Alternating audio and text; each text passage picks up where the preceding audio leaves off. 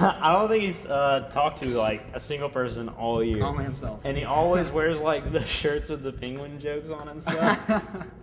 And then like he goes like behind our backs and just like creates this brilliant masterpiece. Like Hey guys, how you doing? Sorry I'm late. I, I had to do a little manscaping beforehand.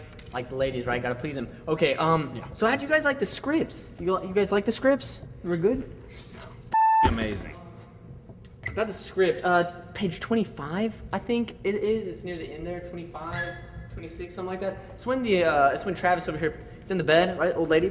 Um, hospital bed, and she, she has the bag with the, the bread in it. And, uh, Daniel comes in, and, and he's like, he's really sad, you know? Um, cause, cause she's dying. She has like leukemia or scoliosis. And like, uh, and, and she's like, Daniel, please, ta take this bread. And he's like, uh, he's like, okay, I'll, I'll take the bread. And, and he takes it, and it's like, it's like she's giving him, uh, her life force, right? So he can just like live forever, and it's like it's like representation. You, you guys know what I'm talking about? Mm, yeah. Okay, that part's a load of.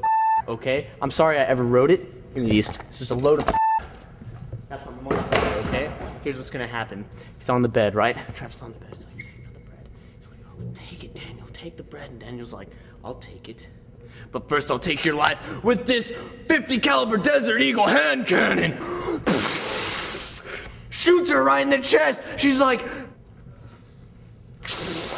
bulletproof vest, bitch. Then she grabs her bag. She's like, "You thought it was just bread in here?" Flings the bag off. So like tatters flying through there like a Japanese movie. She gets the Gatling gun, right?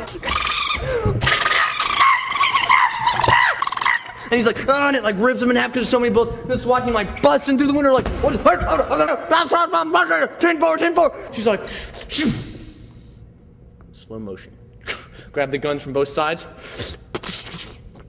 Like, oh, I have a family. Bullet time, right? Bullet time.